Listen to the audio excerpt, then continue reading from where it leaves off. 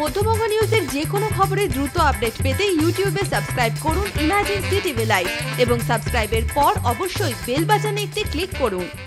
Vote পরবর্তী হিংসার ঘটনায় আক্রান্ত আর এক তৃণমূল কর্মী। অভিযোগের তীর কংগ্রেসের দিকে। আক্রান্ত তৃণমূল কর্মী মুর্শিদাবাদ মেডিকেল কলেজ হাসপাতালে ভর্তি। রবিবার দুপুরে বহরমপুর কুঞ্জঘাটা এলাকায় এই ঘটনায় চাঞ্চল্য ছড়িয়ে পড়ে।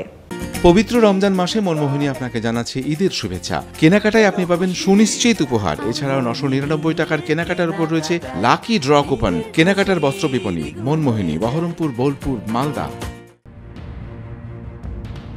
গত উনত্রিশ এপ্রিল বহরমপুর লোকসভা কেন্দ্রে নির্বাচনের সময় বহরমপুর পৌরসভার চার নম্বর ওয়ার্ডের একটি বুথে তৃণমূলের এজেন্ট ছিলেন সত্যব্রত দত্ত। সেই সময় সত্যব্রতকে এজেন্টের কাজে বাধা দেওয়া হয় বলে অভিযোগ। এমনকি তাকে হুমকিও দেওয়া হয় বলে অভিযোগ।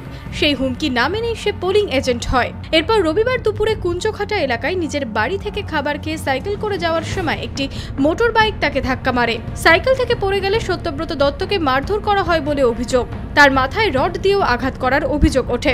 গুরুতর জখম অবস্থায় তৃণমূল কর্মীকে মুর্শিদাবাদ মেডিকেল কলেজ হাসপাতালে ভর্তি করানো হয়। আমি খেয়ে আসছিলাম সাইকেলে করে। আরও একটা গাড়ি নিয়ে গিয়ে আমাকে মানে ধাক্কা মারে। ধাক্কা মেরে আমি যখন ড্রেনে পড়ে যাই, তখন আমাকে একটা রড বের করে, পিছন থেকে একটা রড বের করে আমার মানে কানের নিচে মারে। তখনই আমি সেন্সলেস হয়ে যাই আর আমি রক্তারক্তি হয়ে যাই। আমাদের পাড়ার দুটো দুজন ছেলে আবার আমাকে তুলে নিয়ে গিয়ে মানে ছোটো একটা মানে ওষুধের দোকানে নিয়ে যাই সেখান থেকে আবার বলে যে হসপিটালে নিয়ে যেতে হবে আমি হসপিটালে চলে আসি। কি কারণে মেরেছে? কারণটা হচ্ছে আমাদের পার্টি পলিটিক্যালি হবে।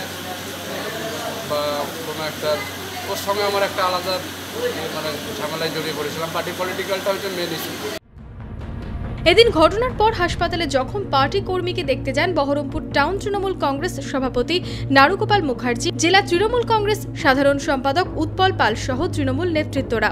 এই হামলার ঘটনায় সরাসরি কংগ্রেসের দিকেই আঙুল তুলছে শাসক দল। ঘটনাটা ঘটেছে উনত্রিশ তারিখ ভোটের দিন থেকে। সেদিন চার নম্বর ওয়ার্ডে একটি বুথে পোলিং এজেন্ট ছিল সত্যব্রত দত্ত, যার ডাকনাম বাবু। সেদিন হিরু হালদার এবং তাদের কিছু দুষ্কৃতী এই সত্যব্রত দত্তকে হুমকি দেয় যাতে পোলিং এজেন্ট না হয়। এবং ও সেদিনকে দলের প্রতি আনুগত্য দেখিয়ে তাদের সেই চ্যালেঞ্জ নেয় যে সে এজেন্ট বসবেই। তখন হুমকি দেওয়া হয়েছিল যে ওকে দেখে নেওয়া তারই পরিপ্রেক্ষিতে আজকে বিকেল তিনটে, সাড়ে তিনটে নাগাদ ওর উপরে হামলা হয়। হামলার পরিপ্রেক্ষিতে ওর মাথায় ভীষণ চোট লাগে, প্রচুর রক্তপাত হয় এবং এখনও গুরুতর অবস্থায় আহত হয়ে ভর্তি আছে। অন্যদিকে এজেন্টকে মারধরের অভিযোগ অস্বীকার কংগ্রেসের তরফে। এই ঘটনার পরিপ্রেক্ষিতে মুর্শিদাবাদ জেলা কংগ্রেস মুখপাত্র জয়ন্ত দাস জানান, তৃণমূলের গোষ্ঠী কন্দলের জেরেই এই ঘটনা ঘটেছে, এর সাথে কংগ্রেসের কোনো যোগ নেই। আসলে তৃণমূলের নেতৃত্বরা বলতে ভুলে গেছে যে তৃণমূলের কোন গোষ্ঠী করিয়েছে। তৃণমূলের তো গোষ্ঠীর শেষ নেই। এবার ক্ষমতাসীন গোষ্ঠীর সঙ্গে ক্ষমতা না পাওয়া গোষ্ঠী, পাত্তা পাওয়া গোষ্ঠীর সঙ্গে পাত্তা না পাওয়া গোষ্ঠী, এগুলোর হচ্ছে লড়াই।